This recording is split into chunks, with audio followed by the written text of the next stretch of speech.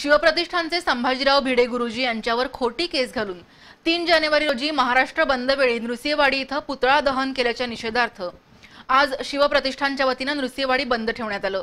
आज दिवसभर नृसिंहवाडीमध्ये पोलीस बंदोबस्त तैनात करण्यात आला होता. कोणताही अनुचित प्रकार न घडता बंद शांततेत पार पडला. भीमा कोरेगाव इथं झालेल्या दगडफेकीच्या घटनेचा निषेध करण्यासाठी तीन जानेवारी रोजी महाराष्ट्र बंद पुकारण्यात आला होता. या दिवशी शिरोण नृसिंहवाडी मार्गावर शिवप्रतिष्ठानचे संभाजीराव भिडे गुरुजींचा पुतळा दहन करण्यात आला होता.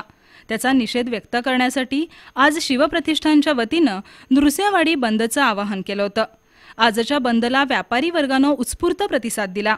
मात्र हॉटेल दुकानं बंद राहिल्यानं दत्तदर्शनासाठी आलेल्या भाविकांबरोबर सहलीला आलेल्या विद्यार्थ्यांची गैरसोय झाली. दरम्यान शिवाजी चौकात शिवप्रतिष्ठानच्या धारकऱ्यांनी पुतळा जाळणाऱ्यांचा निषेध व्यक्त करून त्यांच्यावर कारवाई करण्याची मागणी केली. नृसिंहवाडी पोलीस ठाण्याचे सहाय्यक पोलीस निरीक्षक समीर गायकवाड यांनी गावात चोख बंदोबस्त ठेवला होता.